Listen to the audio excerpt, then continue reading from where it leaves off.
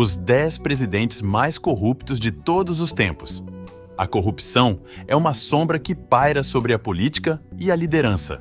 Prepare-se para conhecer os 10 presidentes mais corruptos de todos os tempos e os impactos devastadores de suas ações. Em décimo lugar, Joseph Estrada. A trajetória de Joseph Estrada assemelha-se a algo cinematográfico repleto de reviravoltas intensas. Antes de sua incursão na política, ele desempenhou o papel de ator de cinema por mais de três décadas, acumulando mais de 100 filmes em seu currículo. Sua notoriedade foi conquistada ao personificar um herói das matas que subtraía dos mais abastados para auxiliar os menos afortunados. Consequentemente, recebeu inúmeros prêmios de melhor ator nas Filipinas, alcançando o status de uma grande estrela do cinema.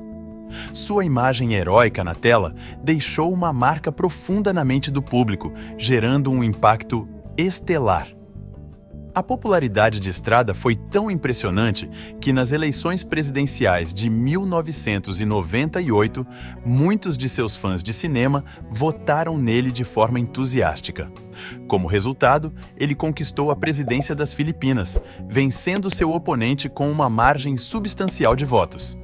Entretanto, no quarto ano de seu mandato, viu-se compelido a renunciar devido a alegações de corrupção tornando-se a primeira figura na Ásia a sofrer impeachment enquanto ocupava o cargo presidencial. Uma investigação judicial posterior revelou que, durante seu mandato, Estrada desviou um montante significativo de 80 milhões de dólares em fundos estatais, resultando em sua condenação à prisão perpétua em 2007. Além disso, foi solicitado que ele entregasse uma mansão e propriedades avaliadas em 15,5 milhões de dólares. Mas ele foi autorizado a cumprir sua pena em prisão domiciliar em sua própria residência, evitando a prisão efetiva. Essa reviravolta surpreendente pode parecer irônica, considerando seu histórico de papéis heróicos no cinema. A história dramática de Estrada não terminou por aí, já que em outubro do mesmo ano ele foi surpreendentemente perdoado pela então presidente das Filipinas e recuperou sua liberdade. A reviravolta mais inesperada ocorreu quando ele concorreu novamente nas eleições de 2013 e foi eleito prefeito de Manila, retornando à política. Isso ilustra a tolerância do povo filipino em relação às suas figuras públicas. Em nono lugar, Arnoldo Alemã. Ele assume a posição de oitavo primeiro presidente, da Nicarágua. Após seu mandato, ele enfrentou prisão sob suspeitas de corrupção, com um valor envolvido que atingiu a marca de 100 milhões de dólares. O irmão mais velho se envolveu em diversas atividades ilícitas, abrangendo desde lavagem de dinheiro e fraudes e desvio de recursos públicos. Sob sua liderança, o governo se tornou profundamente corrupto, resultando na detenção de dele e de outras 14 pessoas, incluindo alguns membros de sua própria família. Ele ganhou destaque por seu uso indiscriminado de cartões de crédito do governo, que não tinham limites para cobrir suas despesas pessoais. O tribunal listou inúmeras acusações, algumas chocantes.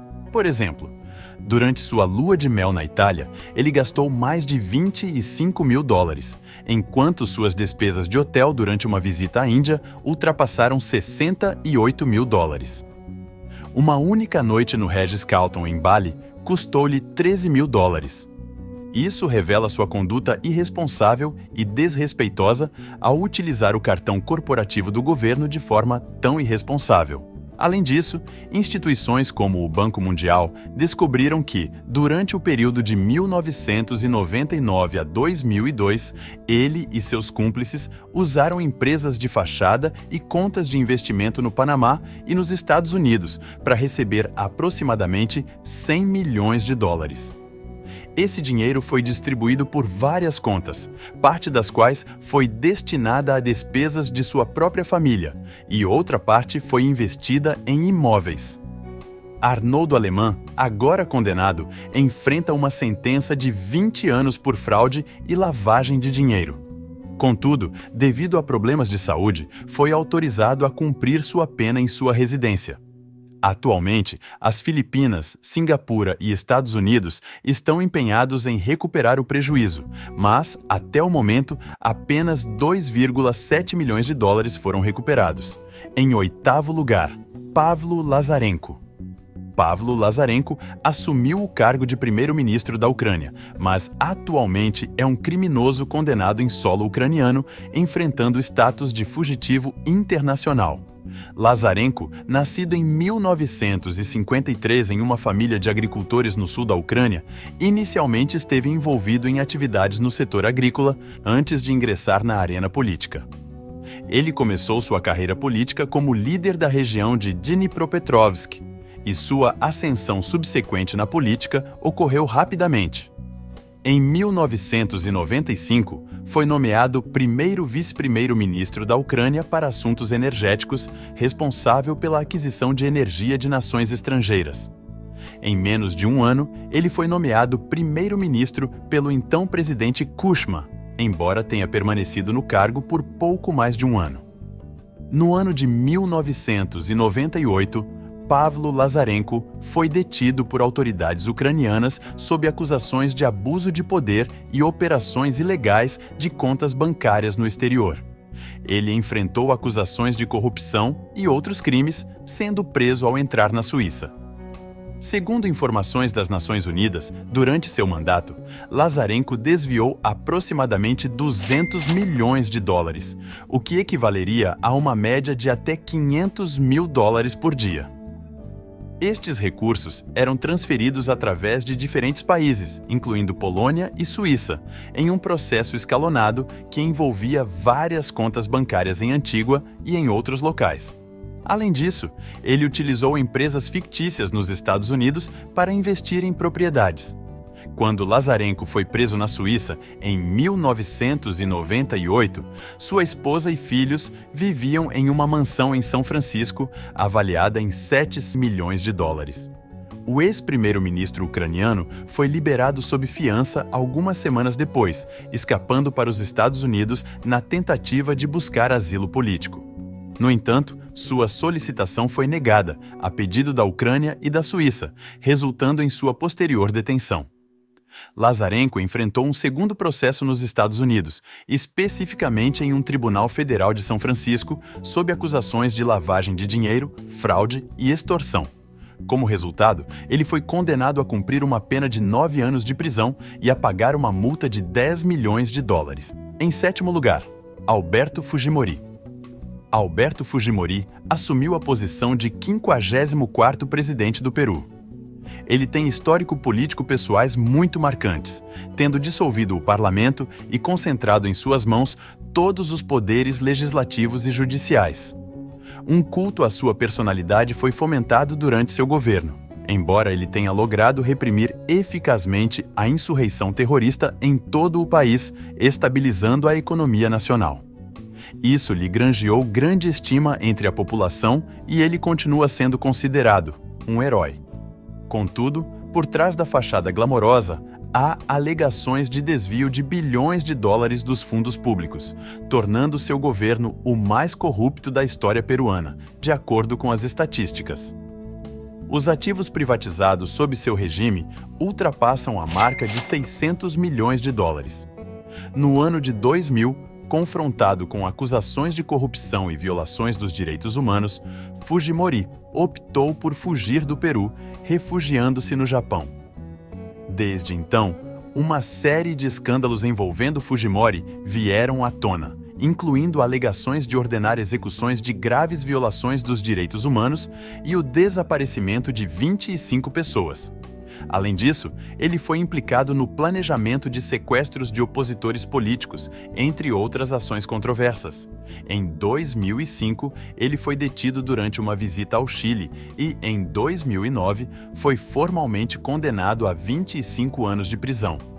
Embora não haja atualmente casos de recuperação de ativos diretamente contra ele, aproximadamente 172,5 milhões relacionados a ele foram investidos pela Suíça e pelos Estados Unidos, sendo direcionados de volta às Ilhas Cayman. Atualmente, sua filha, Keiko Fujimori desempenha um papel ativo na política peruana, tendo se candidatado à presidência em diversas ocasiões. Em sexto lugar, Claude Duvalier. Ele ocupou a posição de 35º presidente do Haiti. Sua chegada à presidência ocorreu de forma inesperada em 1971, quando ele tinha apenas 19 anos após o falecimento de seu pai. Durante seu mandato presidencial, inúmeros haitianos perderam a vida ou foram submetidos a torturas, resultando na fuga de centenas de milhares de haitianos do país. Enquanto ocupava o cargo, Duvalier desfrutou de um estilo de vida luxuoso, incluindo a apropriação indevida de 2 milhões de dólares dos fundos estatais para financiar o seu casamento.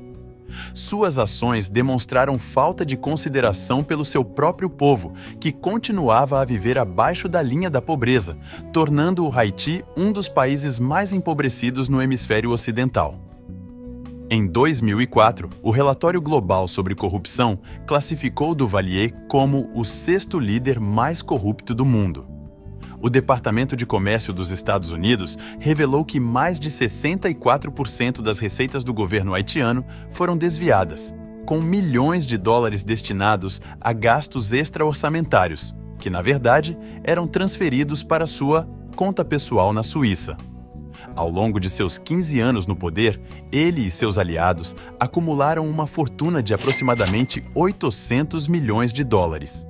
Em 1985, 99,9% da população haitiana votou a favor de tornar Claude Duvalier presidente vitalício. No entanto, um ano depois, ele foi deposto por uma revolta popular, forçando sua fuga para a França, onde permaneceu por 25 anos. Uma reviravolta dramática ocorreu em 2011, durante a campanha presidencial, quando Duvalier surpreendentemente retornou ao Haiti 25 anos no exílio. Ele alegou que sua volta tinha como objetivo contribuir para a reconstrução do país, embora muitos suspeitassem que sua verdadeira motivação fosse recuperar a conta bancária da Suíça. Pouco tempo após seu retorno ao Haiti, foi acusado e preso por desvio de dinheiro público, embora ele tenha dito ser inocente. Inesperadamente, esse impasse chegou ao fim com a morte em 2014. Atualmente, permanece um caso em andamento na Suíça envolvendo 6,5 milhões de dólares em recursos relacionados a ele. Em quinto lugar, Slobodan Milosevic. Slobodan Milosevic, uma figura política sérvia e iugoslava de destaque, desempenhou um papel de liderança. Ele ocupou a presidência da Sérvia de 1989 a 1997 e, posteriormente, presidiu a República Federal da Iugoslávia em 1997, sendo deposto em 2000.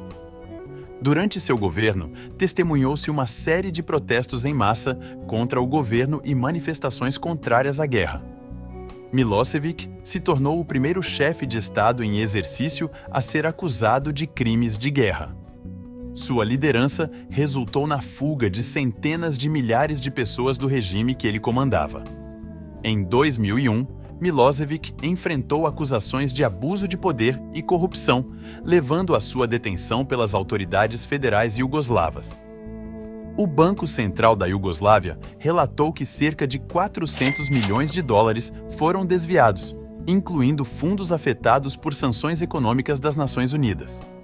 Ao longo de mais de uma década, Milosevic, juntamente com seus familiares, juntou quase um bilhão de dólares em ativos de empresas para diversas nações, como Suíça, França, Rússia, China e outros países.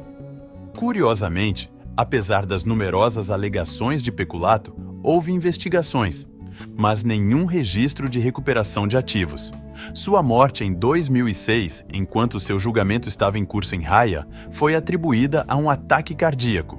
Além das acusações de corrupção, emergiram evidências de seu envolvimento em um sindicato criminoso que empregava táticas violentas, incluindo a prática de limpeza étnica, que resultou na expulsão de croatas, bósnios e albaneses. Com a perspectiva atual, olhando para as circunstâncias nacionais da Sérvia e da Iugoslávia, é evidente um cenário desolador. Em quarto lugar, Zine El Abidine Ben Ali. Ele assumiu o cargo de segundo presidente da Tunísia e, de acordo com informações do Banco Mundial, ele e sua equipe de alto escalão são suspeitos de desviar recursos dos cofres públicos em um período de apenas sete anos. Estima-se que o desvio tenha atingido um montante significativo, variando entre 1 bilhão de dólares e 2,6 bilhões de dólares. Além disso, mais de 21% dos lucros provenientes do setor privado na Tunísia foram apropriados ilegalmente pelo governo. Quando o novo governo tomou posse, procedeu à apreensão e ao inventário dos bens de Ben Ali, revelando centenas de propriedades e 48 navios, também foi encontrado 40 carteiras de ações, 367 contas bancárias e mais de 400 empresas, todas avaliadas em bilhões de dólares. Esses ativos superavam um quarto do produto interno bruto, o PIB, da Tunísia naquela época. Em 2011, Ben Ali e sua esposa foram condenados a 35 anos de prisão por um tribunal tunisiano.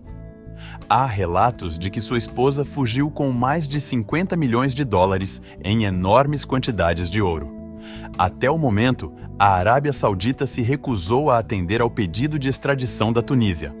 Pouco foi recuperado, um montante um pouco superior a 8 milhões de dólares em ativos, com mais de 28 milhões de dólares identificados na Suíça e múltiplos milhões de dólares em ativos no Canadá.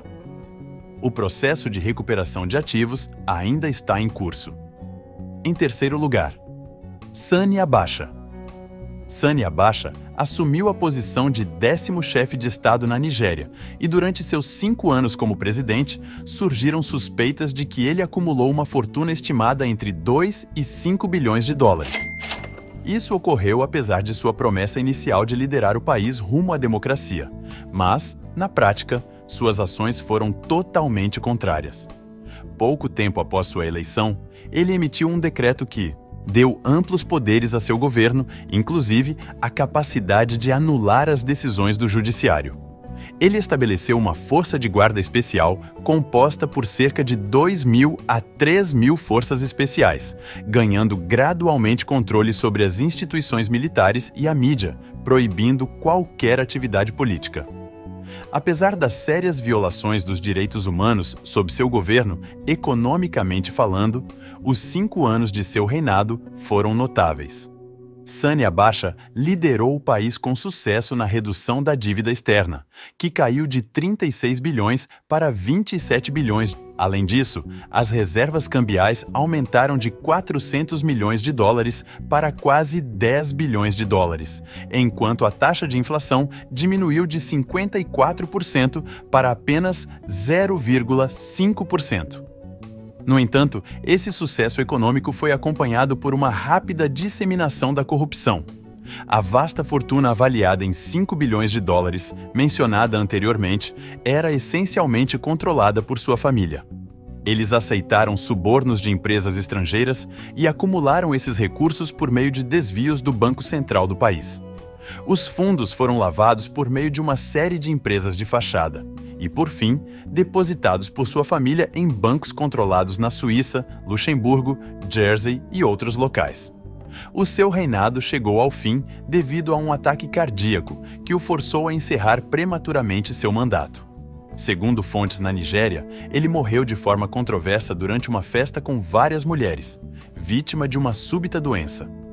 Para recuperar a vasta riqueza desviada, o governo nigeriano lançou a maior operação de rastreamento de corrupção e lavagem de dinheiro já registrada.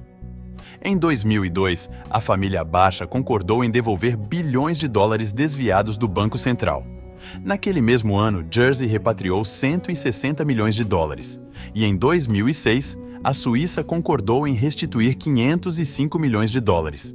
Mas relatos sugerem que metade dessas recuperações pode ter sido novamente desviada por funcionários corruptos. Em segundo lugar, Mobutu Seko. Mobutu Seko é uma figura de grande relevância na história africana, sendo um dos indivíduos mais ricos da região. Após assumir o controle em 1965, ele governou a República Democrática do Congo por mais de três décadas.